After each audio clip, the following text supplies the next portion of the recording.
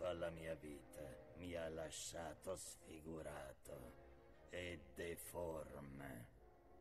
Ma posso assicurarvi che la mia risoluzione non è mai stata più forte.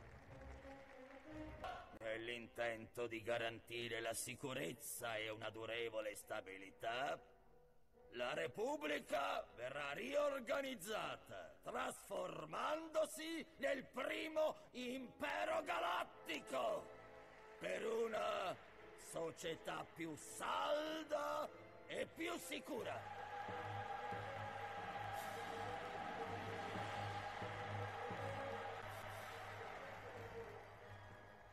È così che muore la libertà, sotto scroscianti applausi.